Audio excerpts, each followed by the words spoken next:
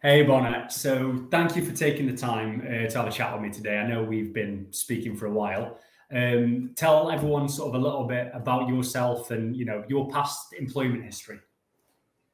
Hey, Thomas. Thanks for having me today. I, I appreciate it. Um, my background, big time varied. Uh, over 30 years in the industry. Uh, started off when I was literally 18 years old, like most people. Um, got into operations, learned how to program, got into actual development, design, um, dabbled in infrastructure, um, gained a big background in uh, portfolio program project management, and then uh, actually was a CIO and uh, got into executive leadership for many, many years. Um, part of my background is I've designed applications, I've installed applications, been leading teams, been on teams, you know, with the whole purpose of actually putting something in that not only can the customer use, but their customers could use and their customers could use. And you know, at the end of the day, it's all about uh, efficiencies, revenue, and performance. So I've been around the industry, and you know, generalized. That's my background. Kind that's, of a jack of all trades. That's it. I like that. I love that attitude. Um, I know we first started speaking because of that. You know, your leadership experience and, and background. Mm-hmm. Um, and I know we mentioned, you know, from our first conversation, we, we, we spoke about SWAT, um, you know, SWAT. I know that you mm-hmm. were formerly working at, you know, Magento, Adobe. Um, I mean, in simple terms, what is SWAT? Wow, loaded question.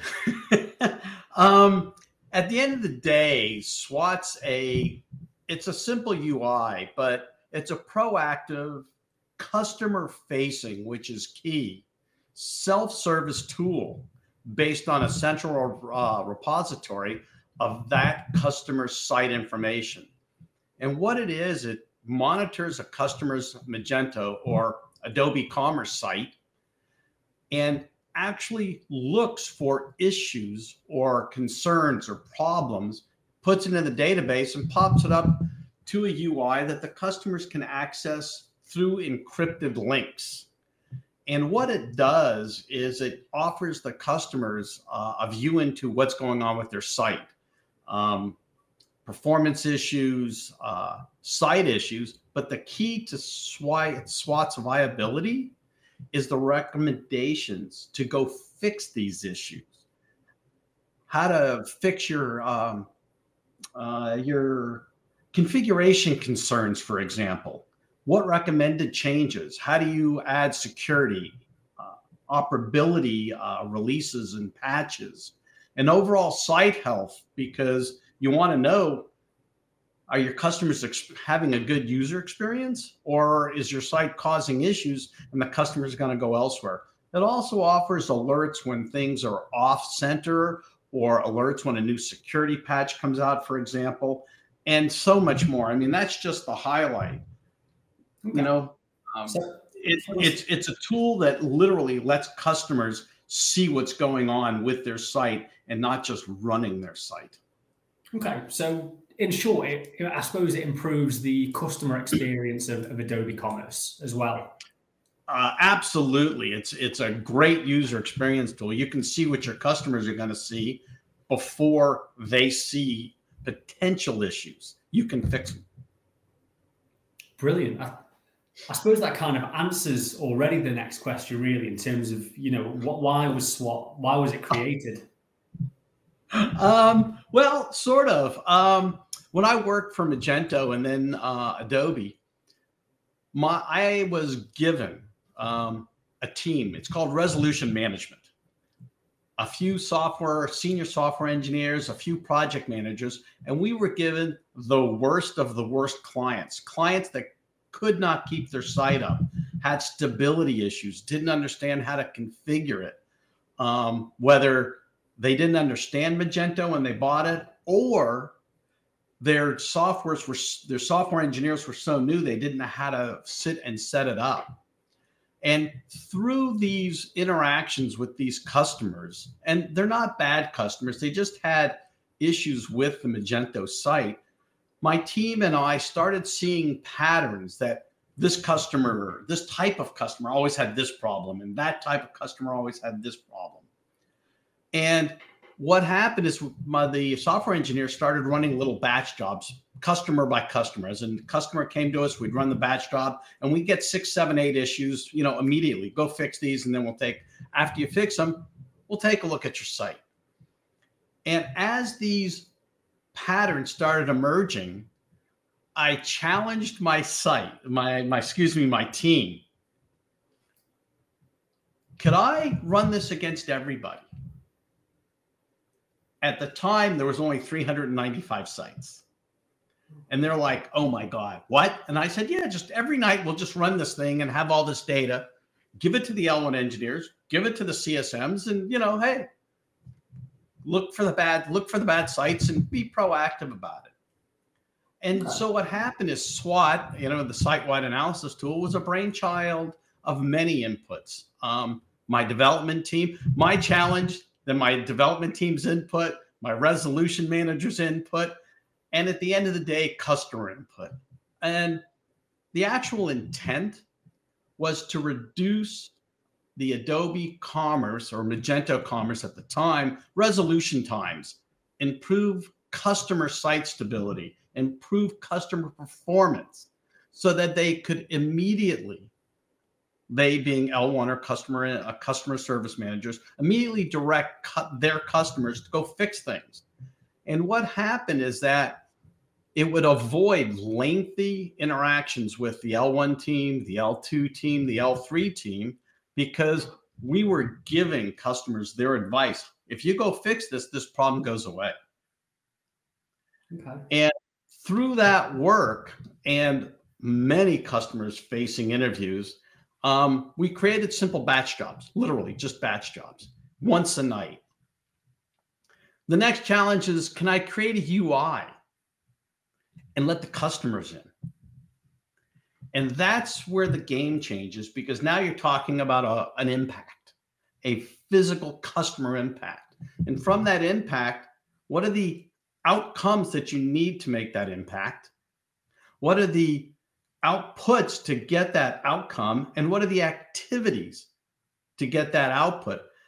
So we approached it backwards until we figured out the activities and then ran it forward in prioritization.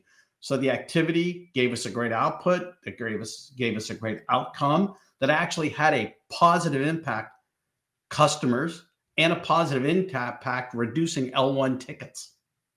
Amazing. I love that. In the first few months, we reduced L1 tickets almost 20%. So SWAT, in essence, we set up guardrails. Hi, if you stay in this lane, your site's always going to work right. You change this configuration, your site's going to work right. And it's an ever going process. Um, it was it was interesting. The developers accepted the challenge, and it's a great tool. There's upwards of four or five thousand customers on this thing now. Wow. So yeah, definitely, I think has proven success then in the market. Um, uh, it, yeah, it is. amazing. That's that's good to hear. Good to hear. Um, I mean, so how how do customers use it to benefit themselves then directly? What's the direct benefit to the customer? Okay, that, now we're talking the impact on the customers. Great question. Um, the beauty is is that SWAT's available 24 by 7 by 7 days a week, 365 66 days a year. Any customer that has a Magento slash Adobe Commerce can get into their specific site and see all sorts of things about it, not only in their production, but in their staging environment as well. So if you make changes, you can go run SWAT against your staging. And the beauty of SWAT is, is when we started, we were like, oh my God, we're going to run this thing once a day. Oh my God.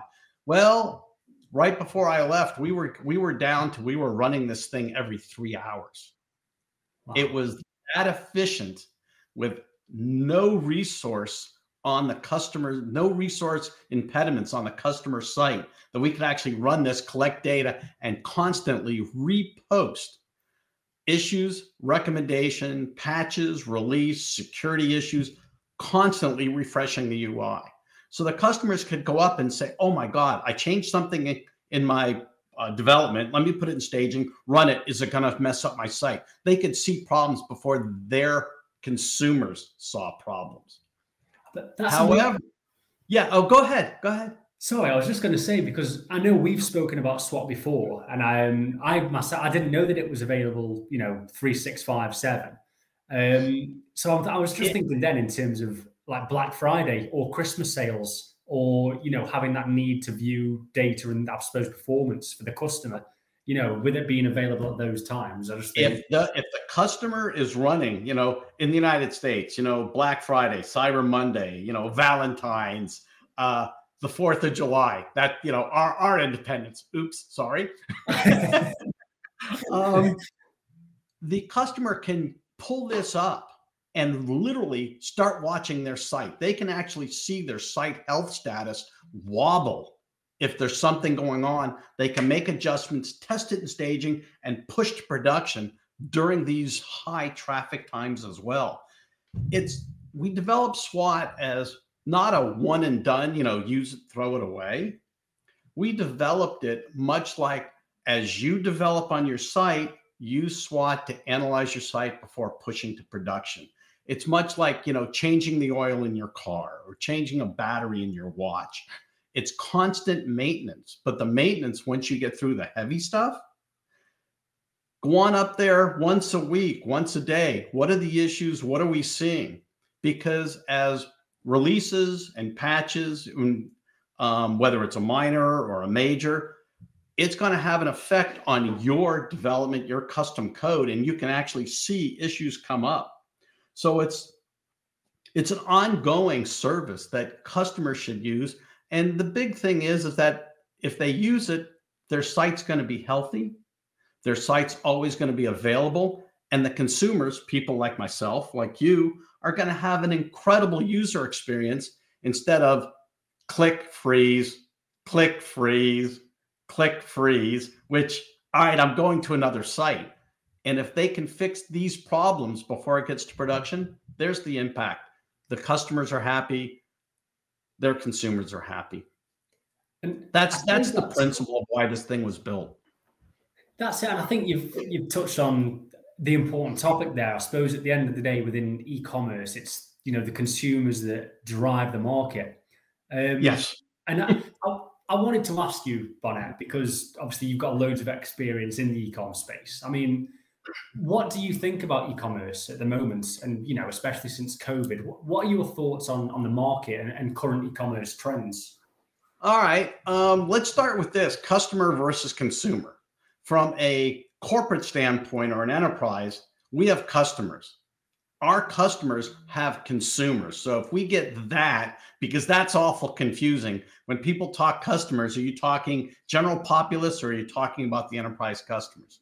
So from a customer view, the people are actually using and bought um, the commerce, they're looking for best ways that their consumers can actually click through because the whole the game in e-commerce is conversion rates. Everybody knows it. It's great that I have a million pages of you, but if I have one click through, it, nothing. So, what's the best method to find or search products? What's the best methods from customer or consumer to pay? How fast can I get them through the pay cycle? Because now I'm doing on the customer, the consumer's impulse. Click, click, click. The other part is how do I market my site such that to the consumers that they will come to my site and have a an incredible user experience. Without that, it doesn't matter how pretty, how fast, how sexy your site is, you're not going to get business.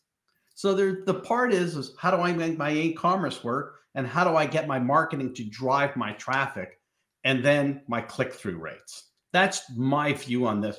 Other people, experts in the field, and you know, there are many. I don't claim to be an expert.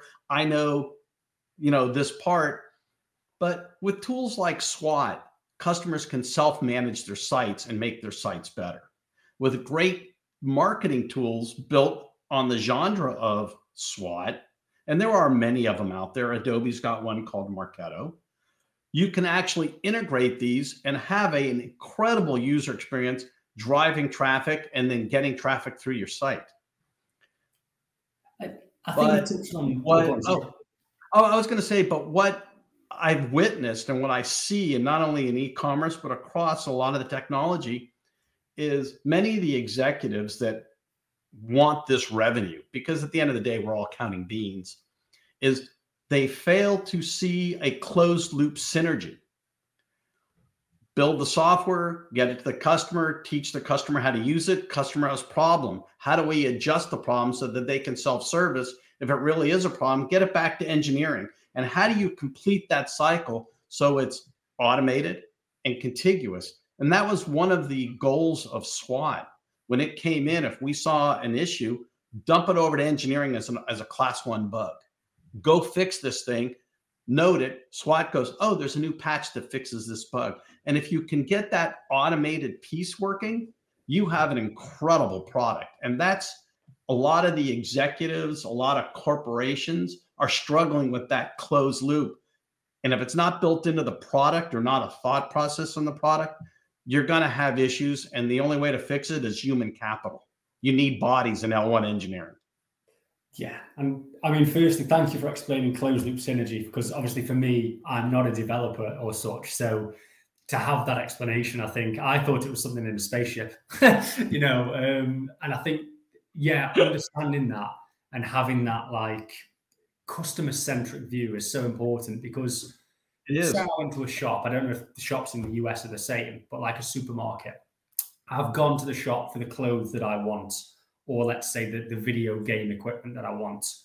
Mm-hmm. That's what I've gone with in mind. I've got that one thing. But as I'm going to pay to the tills, they always sell your chewing gums, your batteries, or the little items that you think, actually, I'll just take that. I'll just take that. And I think having that the simplicity, as you've said in e- in ecom, if you're scrolling a website that's fast and efficient, and that people just think, actually, yes, yeah, you know, where it's personalized. I think that's so important. Um, um, part of that personalization is, as we as I mentioned earlier, we were seeing patterns with errors and figuring out recommendations through tech notes to tell our customers how to fix it. But now let's get into mm-hmm. buying patterns if you have a data lake large enough and you start seeing buying patterns, and and Amazon's great at this. You know, I'm I went and looked for X, and I go up there. Oh, this is cool. And if you look down, they say, well, these two products go with this, and you can buy this kit. You've just given that customer the well, the consumer buying, but that customer, oh, they just bought three products. To your point, oh, I want the chewing gum, I want the tobacco. You know, yeah. I wasn't even thinking about this. And that's revenue back into business. And if you can put the right patterns together, the, the just real quick, the best one, um, somebody that used to work at at um, at Magento and Adobe, um, one of the product uh, uh, managers. He's now since left, unfortunately, and he's a VP at another company. But he was like, men are shopping for Valentine's, for their girlfriends, for their wives, for their spouses, for their significant others. They're buying this. Incongruous. Oh, they're also buying t shirts and sneakers. And you're thinking, that doesn't go together. I'm buying Godiva chocolate, for example. Why would I want to buy a red shirt? Yeah. If you can put these patterns together, you're going to increase your sales and that's a real big feature of my opinion of today is giving me the add-ons giving me the pattern buys not of just my patterns but populace whether it's a demographic or geographic or any of the graphics how do i oh people in this region are buying um, in texas oh you bought a shirt people in texas are buying cowboy boots yeah yeah, I think put the link down there. yeah, I think doing it by demographic as well. I mean, I just to use the Amazon example, the other day I was mm-hmm. cooking in the kitchen and I thought, oh, I'd love a nice knife. I went on to buy one knife block. I've, i think I bought an entire new kitchen just because of the pop-ups. I've you know I bought knives and scissors and bowls and things I didn't even need. Um, but you see them, and I think that's the real where the consumer then, you know, that link between consumer and I suppose the product becomes, yeah, really clear and important. It's the showing, the impulse, and the easy click through to click pay. Do I have to go through seven screens to pay, or can I just pay now? Boom, done. Yeah, and oh, when it saves your when it saves your details. So I know I haven't. I mean, I know it sounds pathetic because I'm I'm really busy all the time, so this shouldn't be a big deal. But having to enter my card details and PIN numbers and things, if I can just swipe and my details are saved, I'm a I'm a sucker for it, and I will do it. um, I'm an avid Kindle reader, and they have a Amazon's got this down to a science. Hi, these are the genres you're reading. Click, one click, boom, and it's in my Kindle, and my credit card got billed, and I'm like, before you know, a few years back, click, click, click, click, click. Now it's hi, just click, boom. They've hit my credit card. They've delivered my digital product. And if you can get to that point, that's you know that's the direction that e-commerce really needs to go my opinion some softwares are there some aren't some have glitches but you know hi i've oh shoot i already bought it did i really want to buy that well okay i bought it yeah, yeah i get that 100% um i suppose coming to the end of our, our talk now just in, in yeah. terms of e-commerce in general um I mean, what do you think of hot topics in e-commerce? You know, I suppose, you know, what, what um, would be hot topics for you at the moment? Well, you know, everybody's on their mind. It's it's it's still the generation of COVID, and that really pushed. I mean, hardly. I mean, hard pushed e-commerce from a consumer point of view, which forced customers of like uh, Adobe, for example, or Magento, or in others other um, e-commerce uh, softwares to actually refine their products. Um, you know, going back two years, there was a 43% increase in online shopping just due to COVID. Um, you know, for me, for five bucks, I can go onto my grocery store. I can order hundreds of dollars of groceries, for example, and for five dollars, somebody brings them to my doorstep. I don't even have to go in the grocery store. I don't have to put a mask on. I don't have to be out in the mass populace. It's that set of efficiencies they're going to drive, whether it's COVID, but COVID was the precipice that, oh, let's go do this. So you have things like uh, Uber Eats and DoorDash and Favor and grocery deliveries. Those are the types of things that uh, are driving it. You know, other things is, you know, software competition. Um, you know, as little as a few years ago, there was nobody in um, Magento Commerce, now Adobe Commerce space.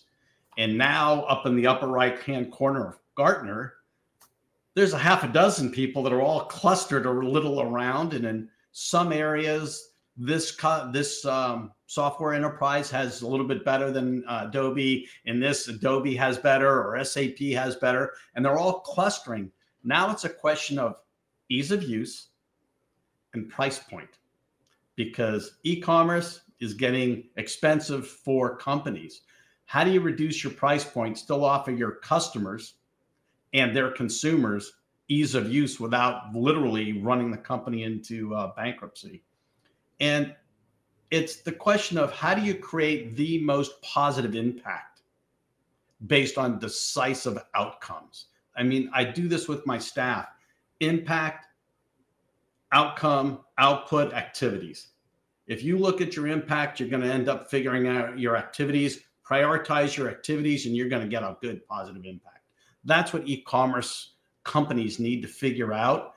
And one or two are going to emerge further in that right hand quadrant of Gartner.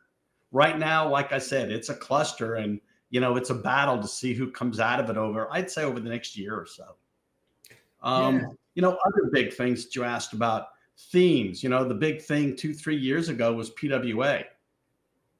Um, the whole universe literally switched over. It's incredible. Don't get me wrong. It's an incredible product, but it, it's still heavy on resource where you get into things like um, Hyvä, where PWA may use 50 scripts, Hyvä uses two. Less resource, lower lower footprint from a customer point of view, more access from a consumer point of view. So you're going to start seeing those that adapt modern technology, not new, but modern technologies, are going to be the real winners in this industry. And then, yeah. you know, the other big thing is the big data. We talked about that. How do you look for patterns and then pop things up in consumers' face and impulse buying to get those? Uh, oh, click, click, click. Yes, I want this. Do I need it? No, but oh, it looks cool. Click, click, click, buy one click buys. So the big data, you know, demographics, geographics, patterns, whether um, it's um, me in Texas, you in England, or friends out in Europe. You know, for example, um, watching football, American football, excuse me, but watching football in Texas, I'll see a, a commercial. In New England of the United States, other people see different commercials in the same space. And it's all about marketing and consumerism. How do you get people to see different things based on their areas? And that's the pattern. So big data is going to be a massive player. They already are, but you're going to see it explode because of the invention of AI into big data as well. Yeah, we've been having chats about that in the office. Actually, I think AI is going to be huge. Um, oh, unbelievable. I suppose it's interesting from from my perspective. Obviously, I work in, in the recruitment space at ecom. Um, mm-hmm. Obviously, predominantly it was mainly sort of Magento recruitment, and like, like you say, with the cluster of different sort of options available, I think people are evaluating different ways they can go.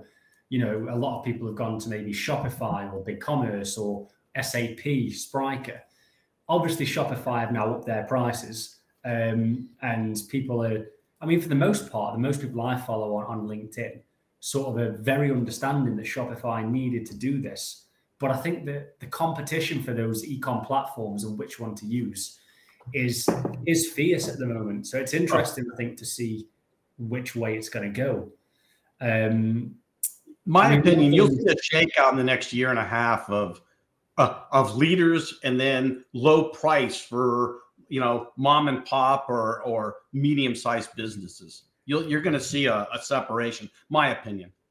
Yeah i think you know i'd agree. I mean one thing i'm always hearing you know i've heard a lot of especially across in the states at the moment is magento is dead. Like i hear that you know i'll see it posted probably five six times a week.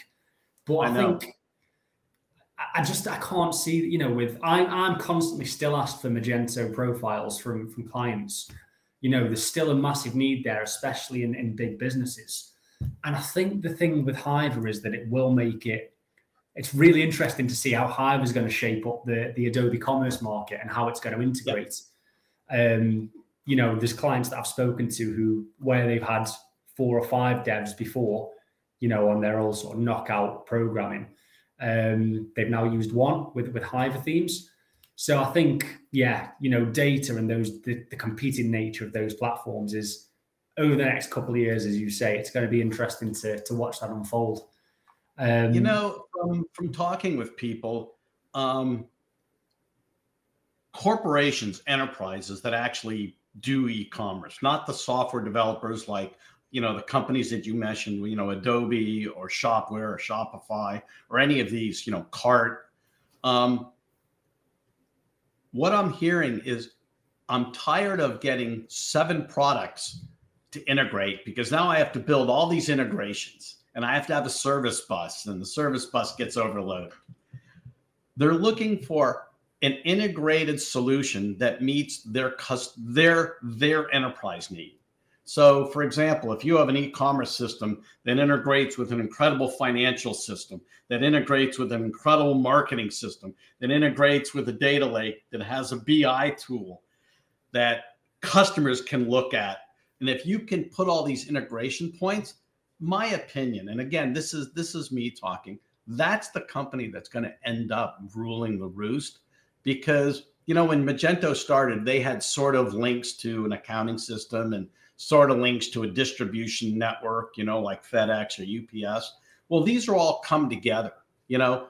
Hi, you can go get an add-on. Oh, let's put the UPS on that. It now it's clicked in, and that's similar across most of the uh, applications out there. but it's the person that gets the brainchild with these integration points seamless. I don't have to program anything. That's my opinion. That that's going to be one of the leaders in the industry. Yeah, I definitely agree. You know, I think yeah, you're, you're on certainly, especially with data, and that's a big thing that we're seeing in the in, in the recruitment ecom world as well. The need for that sort of profile. Um, and I suppose one final question from yourself, Barnet, sure. just because I know you've got you know sort of years of rich experience in, in the industry. Um, there's, you know, not to not to call you old, just to call you experienced. experienced. That's I'm chuckling. It's all good. um, with with the recent, obviously, there's a lot of unfortunate news that's happening, mainly across the US at the moment. Um, you know, layoffs. These big companies, your Salesforce, Microsoft's laying off huge amounts of the workload. Um, what's a, piece of advice that you'd give to someone who's recently been laid off? Oh wow. Um, well, let me let me let me phrase it this way: 2020 hindsight's beautiful. You know, the the world currently is is walking through some sort of economic realignment. Um, some of it is self-caused.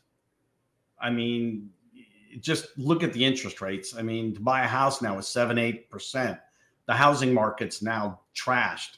How do you how do you fix that? But me, my personal life, 2020 hindsight, I would stay into enterprise programming, design, development, focusing on AI, big data, data lakes, the analysis, um, business intelligence reporting, because those pieces at the end of the day are actually going to drive business revenue because that's where the knowledge comes and that's where you start seeing patterns emerge. And if you are innovative enough to take advantage of a pattern and then market that pattern, you are going to be successful. If you fail at any one of those, Great, big data. Well, I'm not marketing it. You're going to crash. It's me, for me, my background, I would have gotten into AI and big data lakes. That's that's my background. And I think there is a massive need. You can see that all over the country, all over the world. Um, other opportunities, um, biology. Let's just take a look into the uh, industry of virology, study of viruses. COVID, classic case, pandemic. I mean, it started off small and within a year was around the world. Um, it's helping humanity a fix itself, sort of, but also learning how to stop these types of pandemics. Um, my son's in virology. He actually works for a, uh, a bio lab, um, figuring out and looking into the study of COVID in particular. Um, another one is communicating. Um, my daughter's an English major, always correcting me. It's good. Um, but not just not writing or reading or entertainment, but knowledge and enjoyment.